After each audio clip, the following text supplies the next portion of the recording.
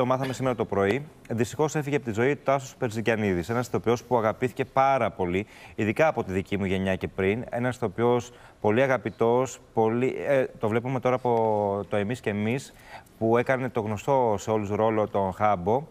Ε, πολύ χαμηλών τον ηθοποιός και πολύ αποδεκτός από το συνάφιτο, που αυτό είναι το πιο σημαντικό από όλα.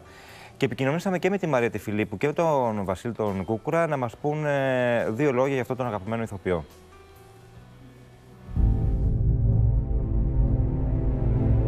Ο Τάσος Πεζερκιανίδης έφυγε από τη ζωή χθες βράδυ μετά από μάχη που έδωσε με τον καρκίνο, σκορπίζοντας θλίψη στον καλλιτεχνικό κόσμο και στο κοινό που τον αγάπησε μέσα από το έργο του σε θέατρο, τηλεόραση και κινηματογράφο. Α, όχι, είσαι ικανή για όλα.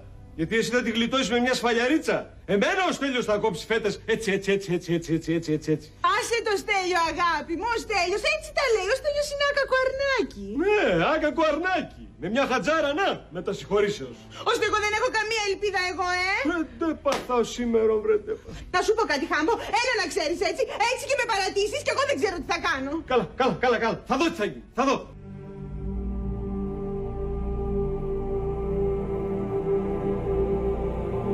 Ο Τάσος Πεζιρκιανίδης έγινε ιδιαίτερα αγαπητός από το ρόλο του Χάμπου στη σειρά του Μέγκα «Εμείς και εμείς». Ο Τάσος ε, που δεν το πιστεύω ότι δεν είναι μαζί μας ήταν ένας υπέροχος άνθρωπος, είχε πάρα πολύ χιούμορ και ένας καταπληκτικός ηθοποιός. Οι ρυθμοί ήταν καταπληκτικοί στο θέατρο και η παύση του. Λυπάμαι πάρα πάρα πολύ που δεν είναι πια μαζί μας γιατί ήταν ένας διαλεκτός άνθρωπος. Εσείς γνωρίζατε για το πρόβλημα υγείας; Για να σας πω την αλήθεια όχι, δεν το ήξερα. Θα πρέπει να με πιστέψεις. Η Σμαραγδία από μόνη της το έπαθε. Το ξέρω Χάμπο, δεν φταίς εσύ, σε πιστεύω.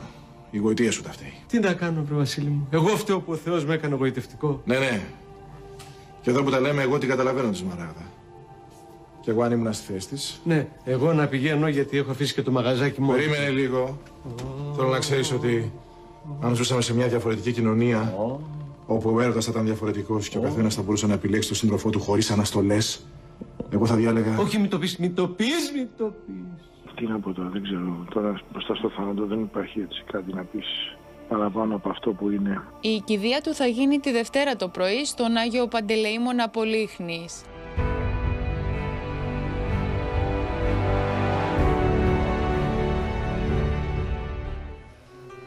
Κανένας το περίμενε. Συλληπιτήρια να πούμε στην οικογένεια και στους δικούς του ανθρώπους. Ε, εντάξει, πολύ στενάχωρο, πολύ δυσάρεστο, πολύ αγαπημένος ηθοποιός. Και αυτό που είπες, έχει πάρα πολύ ωραία αίσθηση αφήσει σε όλους εμάς. Ε, τον αγαπάνε πάρα πολύ οι συναδελφοί του, δηλαδή ήταν και... Ξαφνικό ρε παιδί μου, δεν είχαμε ακούσει τίποτα. Και πάλεψε με ε, απίστευτη αξιοπρέπεια. Κανένας δεν γνώριζε το πρόβλημα υγείας, τουλάχιστον ε, από όλους εμάς. Δηλαδή, φαντάζομαι οι κοντινοί του άνθρωποι το γνώριζανε. Και ήταν πολύ ξαφνικό σήμερα το πρωί που το μάθαμε και πήγα στο γραφείο. Δηλαδή, ε, πραγματικά ήταν κάτι που το ακούσαμε το πρωί και συναχωρηθήκαμε. Συλληπιτήρια.